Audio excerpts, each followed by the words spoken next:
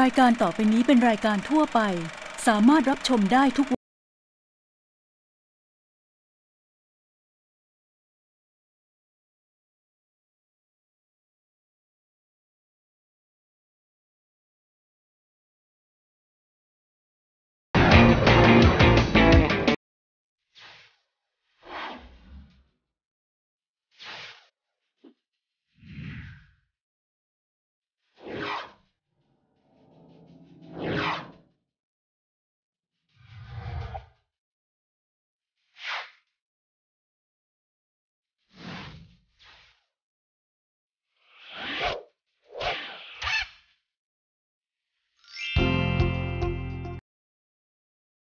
าษาไทย กศนมปลาย เพื่อนพาภาษาไทยปี 3 นะครับ วันนี้พบกับผมจันโลธนพัฒน์สุภาวนาวิวัฒน์นะครับ เราจะมาเรียนรู้เทคนิคการใช้ภาษาไทยอย่างถูกอะต้องเดี๋ยวเดี๋ยวเดี๋ยวเดี๋ยวเดี๋ยวครับ เดี๋ยวคุณเดี๋ยวอะไรเนี่ยนี่มันรายการผม ผมถ่ายรายการอยู่ครับคุณฮะนี่รายการผมครับเอาเหรอเหรอเหรอ ใช่ครับเอาก็นึกคว่ารั้งนี้ที่ผมเป็นพิธีกรไม่ใช่แล้วเป็นพิธีกรไม่ใช่แล้ววันนี้ผมไม่คุณมาเป็นแขกรับเชิญอะผมขอสวัสดีอย่างเป็นทางการก่อนดีกว่าครับสวัสดีสวัสดีครับสวัสดีครับสวัสดีคุณผู้ชมด้วยครับสวัสดีด้วยครับผมเออ นี่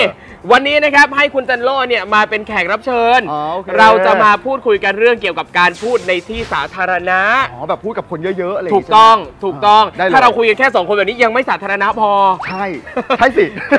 ไม่สาธารณะไม่สาธารณะไม่สาธารณะเออ คือแบบโอ้ยมีคนมากมายหลายคนนี้อ่ายยกตัวอย่างเช่น เราต้อง ขึ้นพูดเป็นประธานในพิธีต่างงานแต่งงานงี้ใช่ในที่ประชุมๆเอออวยพรวันเกิดอะไรอย่างงี้เอได้ไหมอได้ได้เออได้ได้หมดได้หมดเลยอันไหนคนเยอะๆเยอะๆเนี่ยได้หมด เดี๋ยววันนี้นะครับเราจะมาลงลึกกันครับ พร้อมไหมครับ พร้อมมากเลยอ้าฮะวถ้าพร้อมแล้วก็ไปกันเลยอะเรามาคุยกันจริง ๆ ต่างๆ กันบ้างนะคครัรับบตอนนี้เจโร่ทำอะไรอยู่บ้างครับ ตอนนี้ก็เป็นพิธีกรนะครับ แล้วก็เป็นดีเจ แล้วก็ทำ wedding organizer ด้วย โอ้โห ใช่ คือสังเกตได้ว่างานต่างๆ ก็เกี่ยวกับการใช้เสียงที่ต้องใช้ทักษะทางด้านการสื่อสารทั้งนั้นเลยใช่ นะครับ สื่อสารเยอะมากอืม ๆไม่ว่าจะเป็นสื่อสาร ตัวต่อตัว ครับหรือว่าจะเป็นสื่อสารกับคนหมู่มาก ครับ กับทีมงานกับครับลูกค้าครับ โหเยอะมากนะฮะ ใช่แต่เอาจริงๆเนี่ยไม่ว่าเราจะประกอบอาชีพอะไรก็แล้วแต่เนี่ยต้องใช้ทักษะการสื่อสารทั้งนั้นเลยนะถูกเพราะว่าต้องจะทำงานอะเราไม่ได้ทำงานอยู่คนเดียวอะใช่ยังไงเราก็ต้องคุยกับคนนั้นคนนี้ต่างๆ มากมายใช่ครับ นะครับแต่อย่างวันนี้เนี่ยนะครับเราจะเน้นๆกันที่เรื่องการพูดในที่ชุมนุมชนอืมเออคือตรงไหนที่มันมีคนเยอะๆนั่นแหละ เราจะมาดูตรงนั้นกันครับผม เออ อย่างเจโร่เนี่ยมีโอกาสได้พูดในที่ที่คนเยอะๆแบบนั้น ก็น่าจะเยอะอยู่โอ้ยนะ บ่อยเลยครับโดยเฉพาะเวลาไปเป็นพิธีกร สมมติครับเป็นพิธีกรงานอีเวนต์อย่างเงี้ยฮะก็คือต้องขึ้นไปบนเวที ครับแล้วก็ต้องดำเนินงาน ครับแล้วก็แน่นอนว่าคนที่มาดูอะก็คือเป็นคนหมู่มาก คือ2อสามคนขึ้นไปแน่นอน คือบางทีเป็น 10 เป็นร้อยคนก็เคยมาแล้วเนี่ยครับ ครับ ก็คือต้องต้องใช้ skill พอสมครับควรเหมือนกัน เคยเจอปัญหาอะไรบ้างครับ เวลาเราไปเป็นพิธีกรแบบนั้นนะอ่าที่คนเยอะๆปัญอะหาส่วนตัวใช่ไหมใช่ครับ บางทีเนี่ยมันก็มีบ้างนะครัฮะบ อย่างเช่น ทางเทคนิคอย่างเช่นไมค์ไม่ดัง อ่า เอ่อแขกแขกที่จะต้องขึ้นมาบางทีมาไม่ทันอย่างเงี้ยครับ อะประธานในพิธีมาไม่ทันสมมติ อันนี้อยากอยากรู้มากขอทีละประเด็นเลยนะอะได้ได้ตั้งแต่ว่าถ้าไม่ไม่ดังอะเราเออ เราจะแก้ปัญหายังไงครับ ถ้าไม่ไม่ดังจริง ๆ แล้วเนี่ยโอเคเขาจะมีทีมงานของเขาอยู่แล้ว ครับบางทีมันเกิดปัญหาขึ้นมา เราก็อาจจะต้องมีการสบตาทีมงานบ้างว่าอ่า เฮ้ยไม่ไม่ดังนะ แต่ว่าณตอนนั้นเนี่ยบางทีถ้าเกิดมันจวนตัวจริงๆอะนะฮะ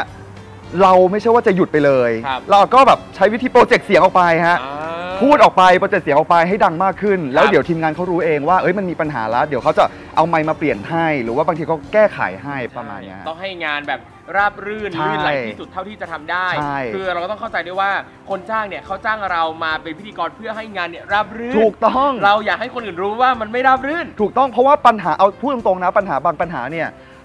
มันไม่เกี่ยวกับเจ้าภาพนะครับ คือเจ้าภาพเขาไม่รู้ มันเกิดจากนี่แหละ เอ่ออย่างที่บอกไปว่าเทคนิคต่างๆนานาหรือว่าบางทีมันเรื่องของทัมมิ่งหรือครับมันเป็นปัญหาเกี่ยวกับเรากับทีมงาน หรือเป็นปัญหาเกี่ยวกับทีมงานโดยตรงอะไรอย่างเงี้ยมันครัก็บ ต้องช่วยกันแก้ปัญหาทั้งคู่ ใช่ครับใช่อะทีนี้พอพูดถึงเรื่องงานต่างๆเนี่ยอ่าที่จะมีประธานมีเชิญคนนั้นคนนี้มาพูดเนี่ยนะครับ เอาจริงปัญหาอย่างหนึ่งที่เคยเจอนะครับ ก็คือว่าหลายคนเนี่ยจะมีปัญหามากๆเลย เวลาที่ต้องไปพูดต่อหน้าคนเยอะ อืมๆ เวลาที่เขาต้องไปเป็นประธานครับต้องไปเป็นนั่นนี่นู่นต่างเออๆอะ อยากรู้ว่าเจโร่เคยเจอบ้างไหมครับ เวลาที่ประธานในพิธีมา แล้วเกิดปัญหาสื่อสารไม่ได้พูดไม่ได้พูดตะกุกตะกักนั่นนี่นู่นอะไรเงี้ย มีนะ คือคือต้องบอกอย่างนี้ฮะบางคนเนี่ยที่เขาเชิญมาเป็นประธาน ครับ โอเค คนที่เขาขึ้นบ่อย เขาก็จะจะมี skill ในการพูด ครับมี skill ในการแก้ปัญหาส่วนตัวของเขา ครับบางคนช็อก บางคน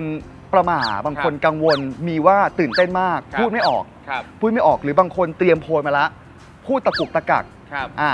รู้แหละว่าซ้อมมาดีแล้ว แต่ว่าพอถึงสถานการณ์จริงๆเนี่ยมันมีอาการประหม่าแล้วก็พูดตะกุกตะกัก บางคนที่ขึ้นมา อาจจะไม่ได้เตรียมโพยขึ้นมาเหมือนเขาท่องมาแล้ว ปรากฏว่าเอาลืม อืม ลืมไม่รู้จะพูดอะไรต่อ ครับ หรือบางคนขึ้นมาแล้วปุ๊บพูด พูดแบบจบไม่ลงอะครับ คือพูดไปเรื่อยๆจนแบบ เรื่อยไม่รู้จะจบตรงไหน ใช่ไม่แล้วรู้ก็ จะอยู่ตรงไหนดี วนมาที่เดิมวนครับมาคำเดิมอะไรอย่างเงี้ยคือเขาเขาหมวดไม่ลงไม่รู้จะลงยังไงเนี่ยครับ คือเจอเจอทุกรูปแบบจริง อุ๊ยใช่อะพอพูดมาแล้วว่าเจอทุกรูปแบบเนี่ย เรามาวิเคราะห์กันไหมครับว่า เออ ปัญหาแต่ละอย่างเนี่ย เราควรจะแก้ยังไงๆ ดีครับ อะอย่างแรกคืออะไรนะครับที่ว่าไปเมื่อกี้นี้ก็คือประหมาตื่นเต้น อะเราควรจะมีวิธีแก้ความตื่นเต้นยังไง ถ้าเราต้องขึ้นพูดต่อหน้าคนเยอะ จริงๆ ถ้าเป็นผมนะ ผมแนะนำว่าเรื่องของการซ้อมสำคัญมากครับคือถ้าเกิดคุณไม่ไม่ได้มีความแบบว่าเอ่อไปงานบ่อยๆ หรือว่าคุณไม่ได้ชินเวทีมาก คุณต้องซ้อมบ่อยๆนะฮะซ้อมกับกระจกอันนี้อันนี้ครับช่วยได้จริง ๆ หรือว่าซ้อมกับคนที่อยู่ใกล้ตัวนะฮะให้เขาช่วยแบบว่าเป็นเอ้ยฟังให้หน่อยครับให้เขาแบบช่วยคอมเมนต์ให้เราหน่อยนะครัฮะบแล้วก็ก่อนขึ้นเนี่ยพยายามแบบอย่านั่งเฉยๆขยับไม้ขยับมือเดินไปเดินมาสูดหายใจเข้าลึกๆครับแล้วก็พยายามคิดว่า คำแรกประโยคแรกที่เราจะพูดไปอะเราจะพูดอะไร ผมเอ่อเชื่อว่าถ้าเกิดประโยคประโยคแรกเนี่ยเราพูดออกไปด้วยความมั่นใจด้วยความด้วยความที่เรา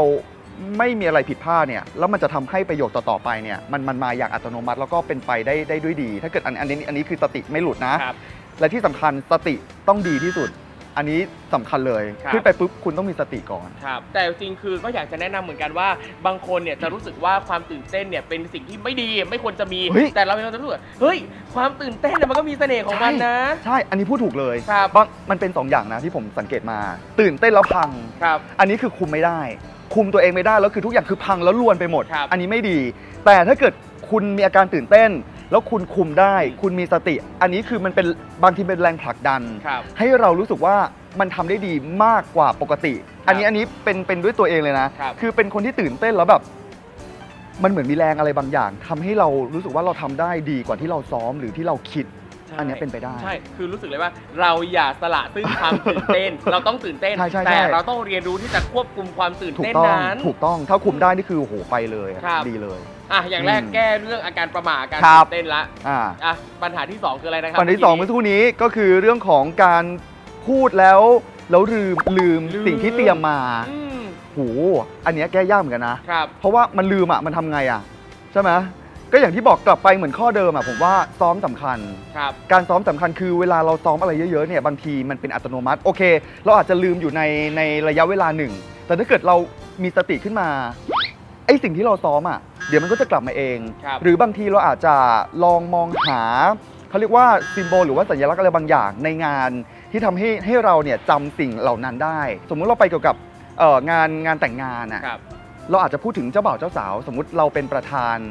เอ่อเป็นลุงของเจ้าสาวครับ อะไรเงี้ยบางทีเราลืมไม่รู้จะพูดอะไรเราอาจจะหันไปไปดูหน้าเจ้าสาวแล้วบางทีลืเรามว่าคนไหนเจ้าสาว ไม่ใช่ไม่ใช่ไม่ใช่ไม่ได้ไม่ได้อ๋อไม่ได้เหรอไม่ได้ไม่ได้ อ๋อ เราอาจจะพูดถึงเขาแล้วเฮ้ยจะพูดอะไรดีอะเราอาจจะมองไปเรื่อยแบบเห็นหน้าเจ้าสาวอะบางทีมันกระตุ้นบางอย่างขึ้นมาได้นะ ครับ หรือมองไปที่คุณพ่อคุณแม่ของเจ้าสาวที่ที่เขาเชิญเรามาอย่างเงี้ยเฮ้ยมันก็ช่วยกระตุ้นความจำบางอย่างขึ้นมาได้เหมือนกันเออเนี้ยอันนี้ก็เป็นไปได้ ครับ แต่ที่สำคัญอะก่อนขึ้นเวทีอะต้องคิดก่อนเลยว่าประโยคแรก จะพูดอะไร ครับ แล้วเดี๋ยวมันตามมาเองที่บอกไป ครับ แต่ถ้าเป็นมือใหม่จริง ๆ แบบไม่เชี่ยวชาญเออ เลย แทบไม่เคยได้ขึ้นเวทีเลย ถึงลืมถึงมองนั่นนี่นู่นก็ต่างคิดไม่ออกๆไม่ได้ เราจะมีวิธีป้องกันในเบื้องต้นยังไงดีครับเอางี้ผมว่าแนะนำเลยละกันว่าถ้ามือใหม่จริง ๆ เลยเนี่ย เขียนโพยขึ้นมา แล้วก็เก็บเอาไว้ในกระเป๋าก่อน ครับ คือบางงานบางทีมันมันอาจจะไม่เหมาะที่จะโพยขึ้นมาอ่านแต่ว่าถ้าเกิดคุณแบบสุดวิสัยจริงๆอะลืมจริง ๆจำไม่ได้จริงๆอะ คุณยังมีโพยในกระเป๋า คุณหยิบขึ้นมา แล้วคุณก็ครับเปิดอ่านเลย ครับ อันนี้อันนี้ไม่ผิดนะเอาจริงๆไม่ผิด เพราะว่าเขาก็รู้แหละว่าเรามือใหม่ ครับ แล้วก็มันเป็นการที่ทำให้ให้เราไม่แบงค์แล้วก็ทำให้งานมันเดินเดินหน้าไปได้ ผมว่าก็เป็นเป็นวิธีสุดท้ายที่ที่จะจะทำให้งานมันผ่านไปได้ ครับเผลอๆบางทีเนี่ยคนที่มานั่งฟังเนี่ยก็ให้กำลังใจเราด้วย ใช่เพราะว่าเขารู้ว่าเราเป็นมือถูใหกม่ต้อง และเขาก็เห็นว่าเราพยายามอย่างเต็มความถูกสาต้องมารถ คือเอาจริงคนดูเขาไม่ใจร้ายนะเขาครัจะบแบบวายวายพูดไม่ได้พูดแต่เขาไม่เขาไม่มีไม่มีไม่มีเขาพี่แต่จะให้กำลังใจคือบางงานเนี่ยเจอเจอที่ช็อกแล้วพูดไม่ได้เลยจริงๆอะข้างล่างคือแบบปรบมือแบบครับ ให้กำลังใจอย่างนี้ก็มีนะเออก็น่ารักน่ารักใช่คนใช่ฟัง คือถ้าเราขึ้นพูดเวทีแบบเนี้ยเราก็จะเห็นเลยว่ามีคนมากมายที่พร้อมจะสนับสนุนพร้อมจะช่วยเหลือเราในยามขับถูขักนต้องนะครับทั้งคนดูเอ่ยอ่าทั้งทีมงานทั้งทุกคนที่อยู่บนเวทีพร้อมจะช่วยอยู่แล้วใช่นะครับใช่ใช่อะนี่คือปัญหาที่สองคือเรื่องแบบโอ้ยลืมลืมอะมอย่างที่สามก็คืออันนี้ไม่ได้ลืมนะครับ แต่จบไม่ลงอะจบไม่ลง คือพูดวนไปเรื่อยครับๆนะฮะอันเนี้ยแนะนำว่าอ่าเราอาจจะต้องมีเขาเรียกว่าเขาเรียกว่าวาดโครงไว้ในหัวก่อนครับ นะฮะบางทีเราจะต้องมีการแบบเอ่อ ตั้งไว้เลย 1 2 3 4 เราจะพูดประเด็นอะไรอ๋อเออครับมันเป็นผ mind mapping ในหัวของเราครับแล้วเราคิดแค่หัวข้อขึ้นมาในในโครงของเราอะแล้วครับแล้วเราก็พูดเนื้อหาตามนั้นน่ะเพราะว่าอันนี้ช่วยได้มันครัจะบเป็นค่อยๆ เป็นค่อยๆ ไปค่อยๆเป็นค่อย ๆ ไปอะยกตัวอย่างเช่นอืมสมมุติว่าถ้าเป็นงานแต่งงานอ่าเราอาจจะเขียนไว้เลยว่าโอเค ส่วนแรกอืมอ่าทักทายก่อนใช่ทักทายเสร็จปั๊บ พูดถึงบ่าวสาวว่าเรารู้จักกับบ่าวสาวยังไงใช่ อ่าต่อมาเป็นอะเราเห็นพัฒนาการความรักของคู่บ่าวสาวยังไง สุดท้ายอวยพร ถูกต้อง อวยพรเราอาจจะมีอวยพรหลายข้ออาอ่าแต่ละข้อมียกตัวอย่างมีเคสถูนันกนี่นู่นต่างๆนานาเราต้องคิดแล้วว่า ประเด็นสุดท้ายที่เราจะพูดเนี่ยคือเรื่องอะไรถูกต้องอวยพรว่าอะไรปั๊บจบสวัสดีจบเลยำาถูกต้องอะแบบนี้ ถ้าเกิดทำแบบนี้ได้เนี่ยแล้วมันจะไปเรื่อยๆ แล้วก็ไม่มีการพูดวนแน่นอนครับอปัญหาที่คนพูดวนเนี่ยก็คือเราเราไม่มีโครงในหัว แล้วก็มันครับมันมีข้อมูลเยอะคือเตรียมมารู้แหละว่าเตรียมมา แต่ว่าพอมันไม่มีโครงเนี่ยมันก็พูดไปเรื่อยๆ แล้วเราก็ไม่รู้ว่ามันจบตรงไหน ถ้าเกิดมีโครงแบบแบบที่ครูทอมบอก พอถึงหัวข้อสุดท้ายเรารู้แล้วว่าเราจะลงยังไง แล้วมันก็ครับเป็นการเตือนเตือนให้เราได้พูดสิ่งนั้น แล้วก็อ่านรู้แล้วว่าเนี่ยเดี๋ยวจบละสวัสดีแล้วจบ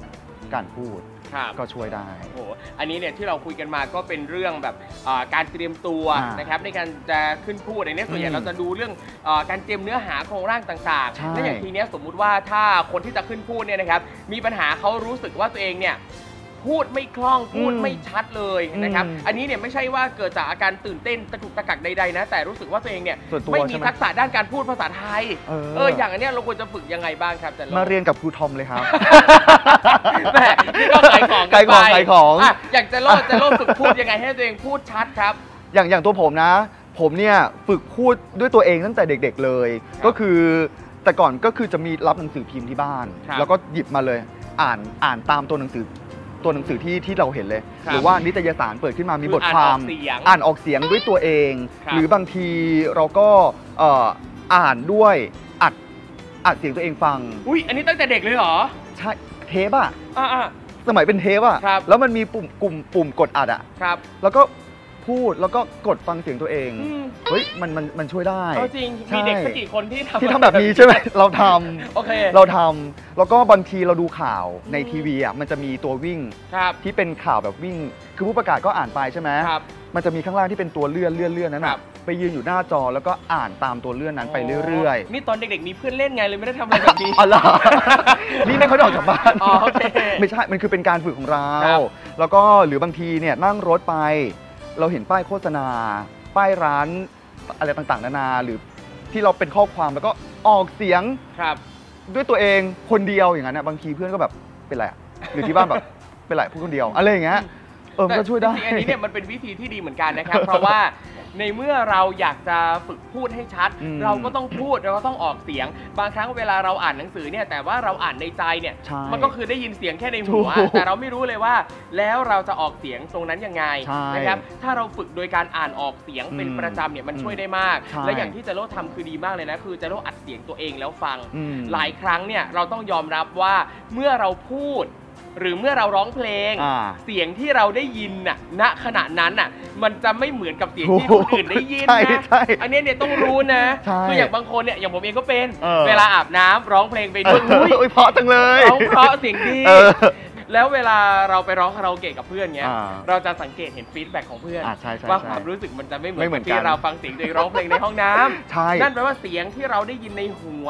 กับเสียงที่คนอื่นได้ยินเนี่ยอืมมันจะไม่เหมือนกัน ถูกต้องดังนั้นการที่เราบันทึกเสียงแล้วเรามาฟังเนี่ยอ่าอันเนี้ยจะทำให้เราได้ยินเสียงจริงของตัวเอง ใช่แล้วก็ได้ยินได้ฟังชัดๆเลยว่าเราออกเสียงถูกต้องมากน้อยแค่ไหน ใช่แล้วนะครับ แล้วก็ที่สำคัญในช่วงแรก ๆ ที่ฝึกเนี่ยเราจะต้องมีการทำรูปปาก ครับให้ให้ถูกตามตัวสะกดอะไรของเขาอุ๊ยแล้วยัก็ไงยังไงจะโลกพอจะอย่างเช่นอะอย่างเช่น รอเรืออ่าลอลิงคำควบกล้ำหรือตัวสะกดแม่กล แม่กง แม่กลมอะไรอย่างเงี้ยคือปิดปากเปิดปากอย่างเงี้ยเราอาจจะต้องทำช้าๆก่อน จนมันคล่องแล้วเราค่อยแบบว่าไหลไปครับค่อยพูดเร็วขึ้นให้มันเป็นธรรมชาติมากขึ้นอะไรแบบคนี้รับก็ได้ หรือว่าอีกวิธีหนึ่งก็คือ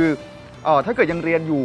มันจะมีการออกไปพรีเซนต์หน้าห้องครับ เราบางทีอะมันก็เป็นวิธีฝึกอย่างหนึ่งของเราเหมือนกันนะ คืออันนั้นคือมันเป็นแค่เพื่อนๆของเราอะ ครับ เราอาจจะอาสาตัวเองว่าเฮ้ยอยากจะออกไปเป็นคน present อยากจะออกไปเป็นคนพูดหน้าห้อง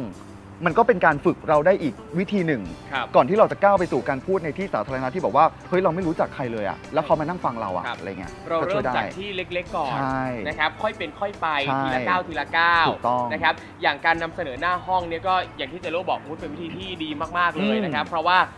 เอ่อถ้าเราเกิดข้อผิดพลาดอะไรใด ๆขึ้นมา อืมอย่างมากก็โดนเพื่อนด่านี่ด้วยนะเพื่อนล้อใช่ไหมโดนเพื่อนล้อเออแต่ว่าลองนึกดูนะครับ สมมุติว่าถ้าเราทำงานไปแล้วอะอ่าแล้วเราต้องไป present งานไปนำเสนองานเผลอๆต้องไปประมูลงานแข่งกับบริษัทอื่นๆน่ะอืม ถ้าเราพลาดปั๊บส่งผลเสียมากมายหลายอย่างนะใช่งั้นแล้วเราต้องฝึก ถูกต้องแล้วประเด็นคือการพูดหน้าห้องอะ เรามีครูไง ครับเรามีอาจารย์ใช่ไหมเวลาเรามีอะไรผิดพลาดเนี่ย เขาก็สามารถที่จะแนะนำเราได้ หรือเราไปขอคำปรึกษาเขาได้ก็ครับก็เหมือนกัน ยอันนี้ต่อ ยอดจากที่อืมว่าเราบันทึกเสียงตัวเองแล้วฟัง อืมคือบางทีเราฟังเสียงตัวเองปั๊บ บางครั้งอะเราไม่รู้หรอกว่าที่เราออกเสียงนั้นถูกหรือผิด ใช่แต่ว่าถ้ามีคนอื่นอืมมีผู้เชี่ยวชาญมาคอยแนะนำมาคอยบอกเราด้วย อืม อันนี้เนี่ยเราจะรู้เลยว่าคำเนี้ยที่ถูกต้องต้องออกเสียงยังไง ใช่ อ่าถูกต้อง แต่ก็ต้องดูดีๆนะ ว่าเขาเชี่ยวชาญจริงหรือเปล่านะเออบางทีเนี่ยสมมุติว่าเราไปให้เพื่อนที่อ่าความรู้เทียบเท่ากับเรา หรืออมเขาอาจจะรู้น้อยกว่าเรามาคอมเมนต์มาวิจารณ์ติชมปั๊บ บางครั้งเราอาจจะได้ข้อมูลที่ที่ผิดก็ผิดได้กลับมา ใช่ อันนี้ถูกต้องแล้วก็เลือกเลือกคนวิจารณ์ก็สำคัญเหมือนกันบางที บางทีเราไปให้คนใกล้ชิดมากๆ อย่างเช่น คุณพ่อคุณแม่ครับนะฮะบางคนก็แบบสายอวยลูกเข้าใจไหมอวยกันเองอวยกันดีแล้วเก่งแล้วอูดีมากทั้งๆที่มันโอเคมันอาจจะยังไม่ดี แต่ว่าด้วยความเป็นพ่อแม่อะไม่อยากให้ลูกเสียใจอะครับเก่งมากลูกดีมากเก่งที่สุดอูดีแล้วอะไรเงี้ยบางทีเราไม่เห็นข้อผิดพลาดตัวเองนะแบบเนี้ยเอออันนี้ก็ต้องต้องดูนิดนึง อาจจะต้องไปเลือกคนที่เขาแบบกล้าวิจารณ์กล้าติชมเราจริงๆแต่ตัวเราเองเนี่ยก็ต้องยอมรับในครับในในสิ่งที่เขาวิจารณ์หรือว่าติเรามาด้วยเหมือนกันนะครับเอีกอย่างหนึ่งที่เจอเวลาที่ไปพูดในที่สาธารณะนะครับ บางครั้งเนี่ยบางงานเนี่ยที่เขาจะเตรียมสคริปต์ให้อ่าเราอะอย่างเวลาที่ผู้ใหญ่จะไปเปิดงานอืมเราลองสังเกตดูนะครับ เราจะเห็นว่าในงานเนี่ยนะครับอืมสมมติเรียนรับงาน จะมีทางคนจัดงานเนี่ยอ่าน คำรายงานต่อท่านประธานในพิธี ใช่ใช่ใช่ในช่วงท้ายเขาจะบอกว่า ลำดับต่อไปขอเชิญท่านประธานขึ้นกล่าวเปิดงานอ่าอ่าอ่า อ่าจะเป็นแบบนี้นะครับตาการเรียงลำดับเนี่ยเอ่อคือผู้จัดงานเชิญประธานกล่าวเปิด อืม แล้วในสคริปต์เนี่ยก็จะมีมีมาเบื้องต้นแหละ ประธานบางท่านเนี่ยนะครับก็จะอ่านตามนั้นเลยเป๊ะเออเป๊ะ บางท่านก็แบบดูนิดๆหน่อยๆแล้วก็ร่ายยาวของตัวเองไปอืม นะครับ อีกอย่างหนึ่งที่สำคัญมากๆคือ เรื่องชื่อเฉพาะ อ่าใช่ คือบางครั้งเนี่ยนะครับอะเขาเขียนชื่อมาให้เราแหละอ่าว่าอะชื่อประธานชื่อนี้อ่าอันนี้อันนี้สมมุติว่าเราเป็นผู้จัดงานนะครับครับถ้านักศึกษาคนไหนเนี่ยต้องเป็นผู้จัดงาน อืม แล้วต้องอ่านคำรายงานต่อท่านประธานในพิธีก่อนที่เราจะเชิญท่านประธานปั๊บเราต้องอ่านชื่อและตำแหน่งท่านประธานให้ถูกต้อง ใช่ ตรงนี้เนี่ย เราก็ต้องให้ทีมงานอืม ให้คนที่หาชื่อติดต่อประธานเนี่ยตรวจสอบให้เป๊ะนะใช่ ตำแหน่งต้องถูกต้องถูก ห้ามพลาดเด็ดขาดเลยอะ ใช่แล้วนะฮะแล้วก็อย่างที่บอกว่าชื่อเฉพาะเนี่ยบางที เรานึกว่ามันอ่านแบบนี้เนี่ยแต่ว่าชื่อเขาไม่ได้อ่านแบบนี้จริงๆไงครับแล้วก็บางบางที่เนี่ยเขาไม่ได้วงเล็บคำอ่านมาให้ เพราะฉะนั้นก่อนที่เราจะขึ้นไปเนี่ยไม่ว่าจะเป็นการพูดอะไรก็ตามแต่ เราอาจจะต้อง recheck นิดหนึ่ง recheck กับทีมงาน หรือ recheck กับเจ้าตัวจริง ๆ ว่า ขอขออนุญาตนะครับ ชื่อนี้เนี่ยอ่านอย่างนี้ถูกต้องแล้วหรือเปล่า ครับ หรือให้ทีมงานไป recheck ให้ อันเนี้ยมันก็ช่วย save เราได้ในอีกทางหนึ่ง แล้วอย่างบางชื่อเราอาจจะคิดว่าโอ๊ยชื่อนี้อ่านง่ายยังไงก็ไม่ผิดหรอก อ่าระวังยกตัวอย่างเช่นพี่ไก่สมพลเนี้ยอ่าคือชื่อเขาก็เขียนว่าสอเสือมอม้าพอพานลอลิงอะอ่า ถ้าเป็นคนทั่วไปที่อาจจะไม่เคยรู้จักเขามาก่อนก็จะอ่านคำนี้ว่าสมสมพลอ่า แต่เขาชื่อว่าสามพลไงใช่เห็นไหมนั่นแปลว่าชื่อของบุคคลใดบุคคลหนึ่งเนี่ยนะครับ เวลาจะอ่านเนี่ยต้องดูด้วยว่าเจ้าตัวเนี่ยอ่านว่าอะไร ถูกต้องอันนี้สำคัญมากๆครับแล้วที่สำคัญนะเรื่องของ เออการรู้จักคนฟังนี่ครัก็บสำคัญมันก็จะทำให้เราเตรียมตัว แล้วก็เอ่อพูดในที่สาธารณะได้ประสบความสำเร็จมากขึ้น ครับอย่างเช่น บางงานเราต้องไปพูดกับคนที่อายุน้อยกว่าอืมหรือพูดกับเด็กๆ อย่างเงี้คยรับเราก็ต้องใช้ภาษาหรือว่าใช้ลักษณะท่าทางที่ที่มันดึงดูดเขาได้ ครับไม่ใช่ว่าคุณเนี่ยไปพูดกับเด็กๆเนี่ยแล้วคุณมาใช้ภาษาทางการเนี่ยอืมเขาฟังไหมเด็กไม่ฟังนะ ครับ เราจะต้องใช้ภาษาที่แบบเป็นกันเองกับเขา ใช้ภาษาที่แบบว่า เฮ้ยทำให้เขารู้สึกว่าเราเนี่ยใกล้ชิดกับเขาแล้วเขาจะฟังเรามากขึ้น ครับ หรือบางงานที่เราต้องไปพูดให้กับคนที่อายุมากกว่า หรือเป็นผู้ใหญ่มากๆ เราจะมาใช้ภาษาที่แบบเป็นวัยรุ่นสับวัยรุ่นที่มันไม่ทางการหรือมันมันกันเองจนเกินไปเนี่ยผู้ใหญ่เขาก็รู้สึกว่าเราไม่น่าเชื่อถือแล้ว ครับ อันเนี้ยก็เป็นสิ่งสำคัญที่จะทำให้การพูดเนี่ยประสบความสำเร็จหรือไม่ประสบความสำเร็จเหมือนกัน ครับการวิเคราะห์ผู้ฟังเนี่ยคือสิ่งที่สำคัญมากจริง ๆ นะครับ ใช่อย่างบางครั้งเนี่ยเวลาเราไปคุยกับผู้ใหญ่ สมมุติว่าถ้านักศึกษาคนไหนเนี่ยนะครับจัดกิจกรรมจัดโปรเจกต์จัดสัมมนาใด ๆ ที่อืมต้องไปบรรยายไปให้ความรู้กับอืมผู้ใหญ่กว่าเนี่ยอันนี้เนี่ยเราก็ต้องระวังเหมือนกัน เพราะอ่าว่าบางครั้งเนี่ยผู้ใหญ่ก็จะรู้สึกว่าเราเป็นผู้ใหญ่ใช่แต่เธอเป็นเด็กใช่ เธอจะมาสอนฉัน ถูก อะแบบนี้ไม่ได้เราไม่ต้องได้เลือกใช้คำให้เหมาะ เช่น เราอาจจะเกริ่นก่อนตั้งแต่ตอนต้นว่า อันนี้เนี่ยขออนุญาตมาแบ่งปันความรู้นะอืมเราไม่ได้มาสอนนะใช่นั่นนี่นู่นแบบนี้ก็จะทำให้ผู้ใหญ่เนี่ยเอ็นดูเรามากขึ้นด้วย ใช่นะครับ แล้วแล้วที่สำคัญเนี่ยขณะที่ที่เราขึ้นไปพูดต่อที่สาธารณะเนี่ยผมว่าไม่ใช่ว่าเราสักแต่จำครับสิ่งที่เราพูดมาแล้วก็พูดพูดพูดพูดไปให้มันจบไปอย่างนั้นไม่ได้ เราต้องมีการสังเกต ต้องมีการสังเกตคนฟังอยู่ตลอดเวลาว่า สิ่งที่เราพูดไปเนี่ยเขาสนใจเรามากน้อยแค่ไหน สิ่งที่เราพูดไปเนี่ยมันทำให้เขาแบบว่าเอ่อมีส่วนร่วมกับเราได้มากน้อยแค่ไหน คือถ้าเกิดเราสังเกตเขาด้วยเนี่ยบางทีอะโอเค คนที่ขึ้นเวทีบ่อยๆ บางทีเขาจะมีวิธีในการดึงความสนใจของของผู้ฟังได้ดี อย่างเช่นครับสมมุติเราพูดพูดไปแล้วรู้สึกว่าคนฟังเนี่ยไม่ไม่รู้สึกว่าไม่เขาเรียกว่าอะไรอะไม่มีส่วนร่วมกับเราเลย หรือว่าไม่เก็ตในสิ่งที่เราพูดเลยอะเราจะต้องมีวิธีเปลี่ยนละ เราต้องเปลี่ยนวิธีการพูดหรือว่ามีอะไรมาโน้มน้าวให้เขาแบบกลับมาฟังเราเหมือนเดิมด้วย อันเนี้คยรับ ก็ก็ก็ควรที่จะทำเหมือนกัน ใช่ครับเนี่ยสำคัญจริง ๆ นะครับ เรื่องอืมการวิเคราะห์ผู้ฟังอืมนะครับ เลือกใช้คำก็ต้องให้เหมาะสมด้วยนะครับ ใช่เนื้อหาเนี่ยก็ต้องดูด้วยนะครับ อย่างบางคนเนี้ยอะสมมุติว่าจะไปบรรยายให้เด็กฟังแต่ถ้าไปอืมพูดเรื่องวิชาการยากๆ แบบนี้ใช่ ก็ไม่เหมาะ ใช่หรือว่าครับจะไปบรรยายให้ชาวบ้านฟังอะสมมติตาสีตาสา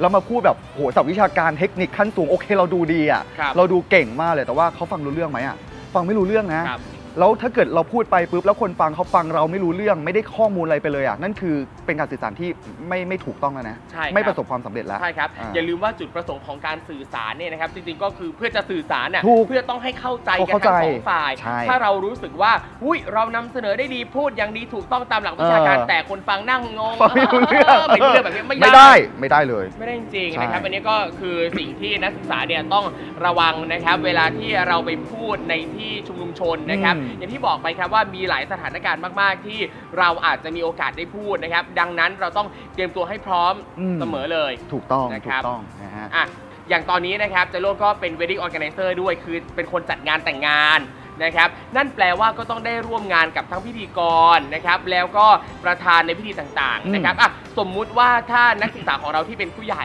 นะคครัรับบที่จะต้องไปเป็นประธานในงานแต่งงาน ถ้าเป็นครั้งแรกเอออะกลับมาที่ตรงนี้สมมุติถ้าเป็นครั้งแรกเลย ไม่รู้ว่าต้องขึ้นตรงไหนต้องทำยังไงหยิบไม้ตรงไหนมือไม้ต้องไปยังไง อืม อาจจะต้องมีวิธีแนะนำไหมครับ ถ้าเขาเชิญมาเรารู้ตัวก่อนใช่ไหมครับฮะอย่างอย่างแรกเลยอย่างที่บอกไปก็คือเราต้องเออโอเค เราอาจจะไม่รู้จักเจ้าบ่าวเจ้าสาวเป็นการส่วนตัว แต่เรารู้จักคุณพ่อคุณแม่ครับแน่นอนว่าคุณพ่อคุณแม่ไม่เจ้าบ่าวก็เจ้าสาวเนี่ยต้องรู้จักเราถึงเชิญเรามา เราอาจจะต้องมีการขอข้อมูลกับคุณพ่อคุณแม่ก่อนไหมว่าเฮ้ยลูกสาวลูกชายเนี่ยเขาหุยรักกันมากี่ปีแล้วเขาแบบคือประวัติคร่าวๆอะไรอย่างเงี้ยเพื่อให้เรารู้ว่าเราจะพูดเขาในลักในลักษณะแบบไหน อุ๊ยแล้วตรงนี้เนี่ยสิ่งที่จะเล่าพูดมาตรงนี้เนี่ยอืมไม่ใช่แค่เรื่องงานแต่งงานเท่านั้นนะ ไม่ใช่ละแต่ไม่ว่าเราจะไปพูดในสถานการณ์ไหน อืมเช่น กล่าวต้อนรับ อืมกล่าวขอบคุณวิทยากร ถูกถูกข้อมูลเราต้องต้องมีเป๊ะก่อนใช่ข้อมูลเราต้องมีว่า เอ๊ะเราจะพูดถึงใครใช่เขาเป็นใครมีประวัติความเป็นมายังไงถูกต้อง ข้อมูลที่เราจะพูดเนี่ยผิดไม่ได้เลย ไม่ได้เลย นะครับอ่าหรืออย่างบางข้อมูลเนี้ยบางคนเนี่ยไปหามาจากใน Google หามาจากในอืมวิกิพีเดียอืมตรงนี้เนี่ยเราก็ต้องเช็คข้อมูลจากเจ้าตัวด้วยนะครับใช่อย่าไปคิดว่าเขาจะรู้สึกแย่มากทำไมจะถึงมาถามฉันนั่นนี่นู่นไม่ไม่เลยไม่เลย เราบอกเขาเลยว่าอันนี้เนี่ยเอ่ออยากได้เป็นข้อมูลที่ถูกต้องเป๊ะถูกต้องๆมีข้อมูลตรงไหนไหมที่ไม่อยากให้พูด หรืออมมีข้อมูลตรงไหนอยากจะเพิ่มเติมเปลี่ยนแปลงแก้ไขไหมเพราะอืมว่าในข้อมูลในอินเทอร์เน็ตเนี่ยอาจจะเป็นข้อมูลเก่าอืมอะถ้าเราอยากได้ข้อมูลอัปเดตอะท่านมีอะไรอยากจะเพิ่มเติมเปลี่ยนแปลงไหมใช่ ตรงเนี้ยถามได้ ใช่แล้วเขาก็ถามได้จะเลยยินดีมากนะถูกต้องยินดีมาก ถูกต้องมันมันดีกว่าการที่เราขึ้นไปพูดแล้วแบบว่าได้ข้อมูลผิดๆมาครับนะฮะอย่างเช่นแบบสมมติอะสมมติบ่าวสาวจริง ๆเขารักกันมาเป็น 10 ปีอะอืมแต่เราได้ข้อมูลว่าโอ้โหเพิ่งคบกันมาเมื่อประมาณแบบ 3 ปีแล้วมาแต่งอย่างเงี้ยแล้วเกิดเราขึ้นเป็นประธานแล้วขึ้นไปพูดว่าอะทั้งคู่รักกันมา 3 ปี ถึงแม้ว่ามันจะเป็นเวลาที่น้อยมากแต่ทั้งคู่ก็มีความรักให้กันและกัน เป็นไงอะมันไม่เออใช่แล้วอะคือครัเขาบรักกันมา 10 ปีแล้วอะอย่างเงี้ยครับมันไม่ได้ไงใช่ป่ะแล้วก็ต้องแบบมีการรีเช็คข้อมูลกับกับอ่าตัวบุคคลที่เราจะพูดถึงนิดนึงนะฮะครับพอเราได้ข้อมูลมาแล้วเราก็อย่างที่บอกไปก็คือกลับไปเตรียมตัวก็คือการการร่างครับสิ่งที่เราจะพูดนะฮะโอเค คนที่เป็นมือใหม่เนี่ยบางทีไม่รู้จะเริ่มต้นตรงไหน search เลยฮะในอินเทอร์เน็ตมันจะมีรูปแบบ ขึ้นมาเยอะมาก ครับ เราสามารถที่จะอ่านแล้วก็เอามาปรับปรุงเป็นคำพูดของเราเองได้ แล้วก็ร่างของเราได้เลย ครับ อะ อันเนี้ยอ่าน่าสนใจมาก หลายคนก่อนที่จะไปพูดเนี่ย จะไปดูเหมือนกับเอ่อสคริปต์ที่มีอยู่แล้วในอินเทอร์เน็ตอืมเขาว่ายังไงมีเออเยอะแหละเยอะเราอย่าตามนั้นใช่ทั้งหมด เราต้องเอามา ปรับปปรัรุบงปรุงเปลี่ยนแปลงถูกดัดแปลงให้เข้ากับปากของเรา ใช่เพราะว่าสิ่งที่เขาเขียนมาเนี่ยอืมนะครับบางครั้งเนี่ยคือเข้ากับปากเขาใช่เขาพูดแล้วคล่องมาก ใช่ แต่เวลาคนอื่นจะเอามาใช้จะเอามาพูดตามเนี่ยคือไม่ได้จริงๆ ไม่ได้ไม่ได้ไม่ได้ อันนี้คือแนะนำเฉพาะคนที่เป็นมือใหม่จริงๆนะ ครับแต่คนที่เขาพูดประจำอยู่แล้วเขาจะมีเอ่อเขาเรียกว่าภาษาของตัวเองอยู่แล้ว ครับแต่เนี้ยคือมือใหม่จริงๆ ไม่รู้จะเริ่มต้นยังไง อันเนี้ยใช้ได้แล้วก็มาปรับปรุงเปลี่ยนแปลง ครับหรือเราก็ลองไปปรึกษาคนที่เขาขึ้นบ่อยๆไหม คนที่แบบเป็นผู้ใหญ่กว่าเราที่ที่เราปรึกษาได้ก็ขอคำแนะนำจากเขาได้เหมือนกัน อันนี้อันนี้ก็ช่วยได้ และที่สำคัญพอเรามามามาร่างมาเตรียมตัว มาเขียนออกมาแล้วเรียบร้อย สิ่งสำคัญก็ย้อนกลับไปที่เราคุยกันตอนแรกก็คือการซ้อมครับการซ้อมเยอะๆ พูดกับตัวเอง พูดหน้ากระจก พูดให้คนอื่นฟังอย่างเงี้ยสำหรับมือใหม่ก็ก็ช่วยได้เหมือนกันครับแล้วที่สำคัญพยายามคิดให้เป็นเขาโครงอะก็ย้อนกลับไปสิ่งที่เราพูดตอนต้นเหมือนเดิมครับนะฮะพยายามคิดให้เป็นเขาโครงแล้วก็พูดตามตามที่ที่ที่เราเตรียมมา แล้วก็ให้มันดูเป็นธรรมชาติ บางคนเนี่ย อันนี้ข้อข้อเสียของการที่ที่เราท่องมากจนเกินไปเนี่ยสิ่งที่เราขึ้นไปพูดโอเค บางทีมันเป๊ะมากเพราะว่าเราท่องมาดีมาก แต่ว่าสิ่งที่ตามมาคือมันไม่ธรรมชาติ มันเหมือนแบบมาอ่านอะไรให้ฟังสักอย่างหนึ่งแล้วมันดูแบบแข็งมาก บางทีเราจจะต้องมีการปรับเปลี่ยนวิธีการพูดโอเค เราเขียนมายังไงใช่ไหมแต่ว่าสิ่งที่เราพูดไปเนี่ยบางทีเราจะต้องมีการแบบใช้คำว่าเออให้มันมีเขาใช้ว่าอะไรให้มันเป็นธรรมชาติมากขึ้นครับหรือว่าใช้คำพูดที่มันไม่ทางการจนเกินไป หรือ เออใช้สายตาอ่า ในการกวาดไปรอบอันนี้ก็สำคัญๆ อันนี้ก็สำคัญเพราะว่าบางคนเนี่ยขึ้นไปพูดแล้วกลัวลืมไงครับ จ้องจุดเดียวเลย แล้วตาก็แข็งมาก แล้วมันครัก็บ จะดูเหมือนหุ่นยนต์มาพูดอะไรแบบเนี้ยเออ อันนี้ก็จะทำให้เรารู้สึกไม่มีเสน่ห์ในการพูด เพราะฉะนั้นการพูดที่ดีคือนอกจากจะเอ่อมีเขาโครง จำสิ่งที่พูดให้ได้ มีครัสบติแล้วเนี่ยสายตาแล้วก็ต้องส่งไปถึงคนดูได้ด้วยเหมือนกัน ครับการที่เราใช้สายตาคือการที่เรามี eye contact อืมมองไปที่คนดูเนี่ย อืมอันเนี้ยคือสิ่งที่ทำให้คนฟังเองก็รู้สึกว่าเรากำลังสื่อสารถูกับกต้อเขางอยู่ และจะทำให้เขาได้รับในสิ่งที่เราอยากจะสื่อมากขึ้น ใช่ถูกต้องเลยนะครับ ครับสมมุติว่าถ้านักศึกษาจะต้องไปกล่าวขอบคุณวิทยากร อืมเราก็สามารถนำแนวคิดนี้ได้เหมือนกันแวคิดไปประยุกต์ได้นะครับ ถูกต้องทั้งเรื่อง การเตรียมโพยการพูดการอ่านการเช็คข้อมูลการใช้สายตาต่างๆ ใช่นะครับ แต่จริงๆ เรื่องของการขึ้นไปพูดที่สาธารณะเนี่ยมันมีรายละเอียดอีกพอสมควรอย่างเช่น ลักษณะท่าทางการยืนการแต่งกาย การจับไมค์การใช้เสียงมันมีรายละเอียดอีกพอสมควร ถ้าเกิดมีโอกาสครับเดี๋ยวเรามาคุยกันใหม่ ได้เลยครับ ได้เลยนะครับ ก็วันนี้นะครับขอบคุณเจนโล่มากๆนะครับได้ที่ได้ครับให้เกียรติมาพูดคุยกันนะครับมาถ่ายทอดประสบการณ์มาแบ่งปันประสบการณ์ต่างอืมๆตรงนี้นะครับ ก็หวังว่านักศึกษาเนี่ยนะครับก็จะนำข้อมูลตรงนี้นะครับนำความรู้ทุกอย่างตรงนี้ไปประยุกต์ใช้กับตัวเองได้นะครับครับวันนี้ขผมอบคุณเจนโล่มากนะครับ ขอบคุณครับ ขอบคุณครับ